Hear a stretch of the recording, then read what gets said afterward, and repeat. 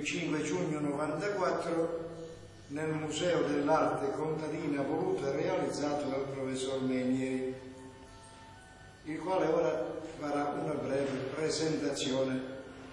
Allora, ti, ti faccio una brevissima descrizione degli oggetti. Sì, benissimo. Cioè se ti avvicini, non so se, se ti avvicini puoi riprendere il primo oggetto, il primo piano, cardo manuale, nel senso che eh, cioè, veniva usato per cardare la lana manualmente, nel senso che il cardatore, fra l'altro ce n'erano molti sia a Morano che a Mormano, si metteva a cavalcioni sul, su questo panchetto e con gli scardassi, questi si chiamano appunto scardassi, vedi questi fili, queste punte d'acciaio, ehm, si cardava la lana. Poi si passava subito dopo alla filatura. La filatura avveniva naturalmente con il fuso, quindi vedi questi sono degli esemplari di fuso Benissimo. diffuso.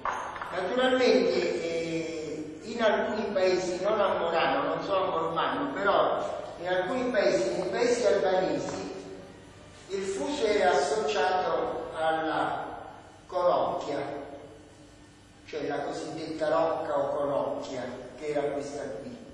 Questi sono belli, due belli esemplari di conocchie che provengono da paesi albanesi, uno da San Basile e l'altro da Figo. E come funzionavano queste?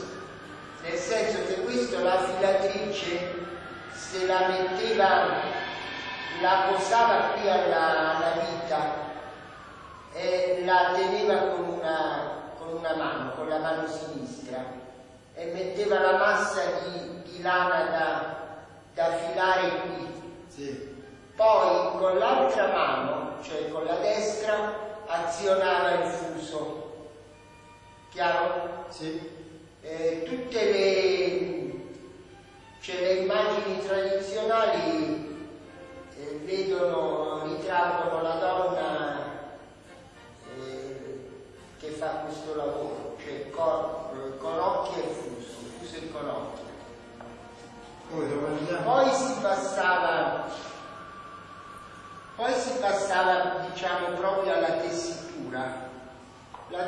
tessitura ovviamente avveniva con i telai manuali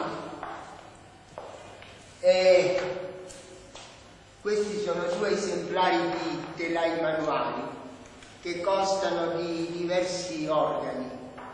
Eh, ci sono, mh, questo era, ecco, le navette sono lì, una navetta è lì, quindi la navetta, la- nella navetta c'era una, una spola, poi gli altri fili venivano tesi, venivano tesi da un subbio all'altro, quello lì si chiama subbio, quel, quel cilindro in fondo. Dove è il panno rosso? Sì, quello è, un- è il subbio dell'ordito.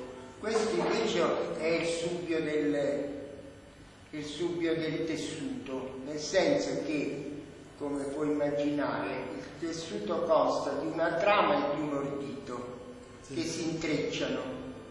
Per cui l'ordito è costituito dai fili che vanno in lungo, longitudinal- longitudinalmente, mentre trasversalmente c'è la trama. Quindi azionando i pedali e i licci, questi sono i licci, eh, si ottengono diverse armature, per cui non so, eh, si può ottenere, si può ottenere questa armatura qui, vedi? Queste, eh, tieni presente che questi sono tutti tessuti prodotti a Morano in passato, risalgono 800, primi 900. Quindi questo è fatto con lana grezza, si chiama frannina. La frannina, credo anche a Mormano. Frannina vuol dire fiandina da fiandra, Sì. deriva da fiandra. Ecco, la frannina è un eh, tessuto di lana ruvido Per le coperte, sì. con le coperte ma anche i vestiti. Anche, anche. Vestiti, questo qui. Quindi questo è un tipo, per esempio, un tipo di tessuto che si ottiene azionando in un certo modo i ricci con il pedale, mentre questo, quest'altro tessuto si ottiene in un altro modo, ma sempre tieni presente che tutti questi tessuti venivano prodotti con telai di questo tipo, perché ci sono altri esemplari di tessuti antichi che sono laggiù in fondo. E ora lo andiamo a vedere. Sì.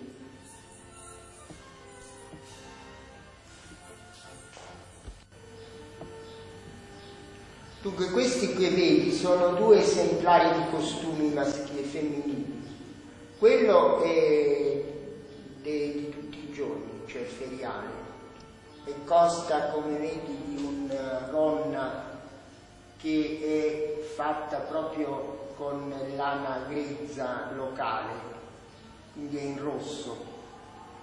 Qui c'è il grembiule, eh, però è più interessante naturalmente l'abito di gala che è in raso. Ecco, vedi, questo è in raso. È in raso e eh, dispone di grembiuli di vario tipo, anche molto ben lavorati. Vedi come viene, venivano curati i grembiuli. Tieni presente che i grembiuli erano di vario tipo, cioè il grembiule, al grembiule era associato, erano associate le caramaniche. E i ricami sono dorati, Eh, sì, sono fili dorati fili dorati. che venivano realizzati qui a Morano. Il tessuto non è locale perché è raso. Il raso naturalmente non si poteva produrre qui, vedi?